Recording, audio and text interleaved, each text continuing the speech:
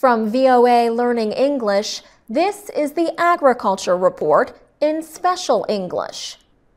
The humanitarian situation in Somalia has improved.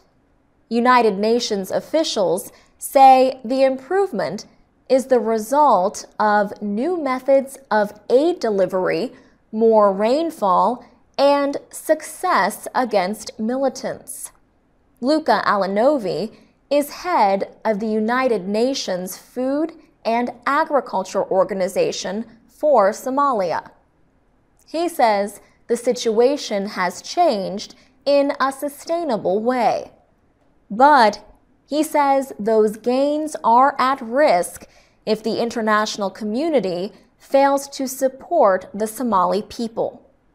He warns of a possible return to conditions like those in 2011. That was when a famine emergency was declared in parts of Somalia. Many people died. Many others walked for weeks to reach areas with food and water.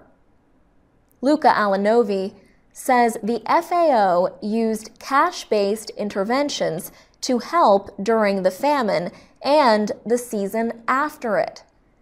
He says the aid effort urged Somalis to stay where they were. Earlier interventions, he says, were based more on simply providing food, shelter, and other basic needs.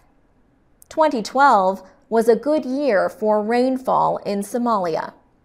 Two major rivers cross the country, so irrigation can be used in a lot of areas. Luca Alinovi says continued investment in irrigation could increase agricultural production to meet the needs of more than half of Somalia. Another issue affecting the humanitarian situation has been the success against the militant group Al Shabaab. Forces from the African Union, known as AMISOM, along with those from the Somali government and Kenya, have driven militants from many areas. But Luca Alinovi says many rural areas remain under al Shabaab's control, and the military operation continues.